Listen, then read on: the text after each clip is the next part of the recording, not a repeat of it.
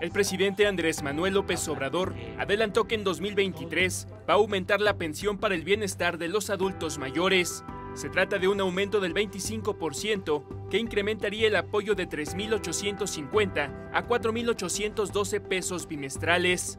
En la conferencia de prensa matutina de este lunes 17 de octubre, López Obrador puntualizó que el aumento, que entraría en vigor a partir de enero de 2023, no será el único, pues se tiene contemplado que en 2024 se aumente otro 25%. Y aprovecho para decir que ya a partir de enero aumenta 25% la pensión. Y en enero del 24 otro 25% cuando yo termine, cuando se concluya nuestro mandato,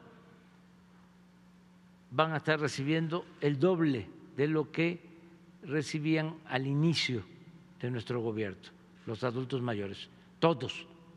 La pensión del bienestar para adultos mayores es un apoyo que se da a hombres y mujeres de 65 años o más.